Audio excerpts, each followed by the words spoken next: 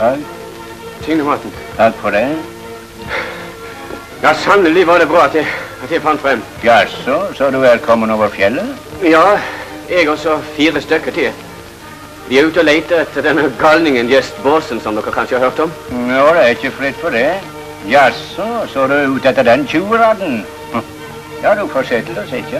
Men uh, jeg tenkte heller å be om å få kjøpt noe mat, for vi har ikke spist på to dager. Å jo, det kan vi vel alltids greie. Ja, du får finne fram det som trengs, du. Ja vel. Så hjelper du deg, Marit. Ja, vær så god, hvis du vil ta til takke, så. Jeg sier tusen takk. Jeg burde jo vente med å spise det jeg fant igjen kameraten min.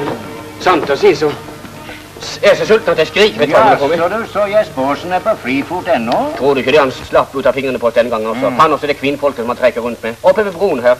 Det er en makeløs fyr. Borte som en sviske. Ja, han har da vært her på gården òg. Du sier ikke det? Jo da, han stjal alle sultsakene mine, den svinepelsen. For du skynder deg hjelper gjerne de som er ute etter han. Ja, hvor har ikke han vært? Og hvem er så du, da? Er politibetjent Bang fra Bergen. Nei, jaså, du, så du er politibetjent? Det blir kanskje deg som tjener de 300 dalene da, som er utlova for han. Jeg skal ikke ha noe mot det, jeg. Det kunne passe godt, for jeg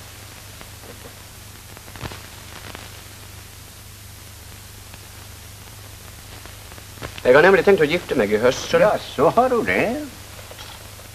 mm, Jeg sitter og tenker på han der gjest. Mm. Jeg tror knapt det fins frekkere faen til i hele verden. Og så flink som han er til å skape seg. Kle seg om. Til og med kjente personer.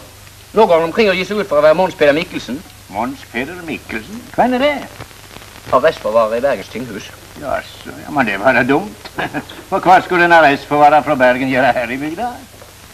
Det har han nok ikke tenkt på, det, nei. Men han har nok sin mening med det. Vær så god. Og tusen takk skal du ha. Tusen takk. Og så var det pengene, nå. Å nei, det kan være det samme. Du kan, du kan skjønne du skal ha penger. Ja. Du kan jo få igjen litt av det jeg har tatt for deg. ja, ja, når du endelig vil, så. Takk skal du ha. Tusen Takk, sjøl takk. Ja, lykke til, da.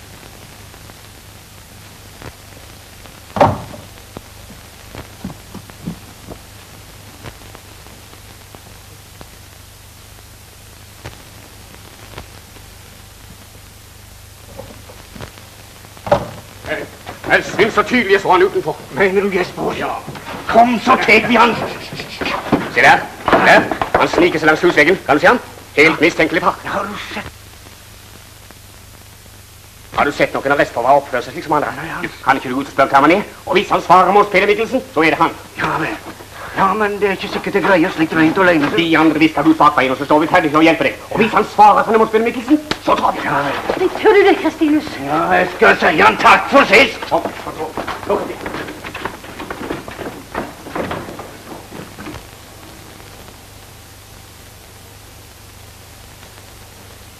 Hvem er du? Hva er du for en, spør jeg? Det er Mons Peter Mikkelsen. Det er du,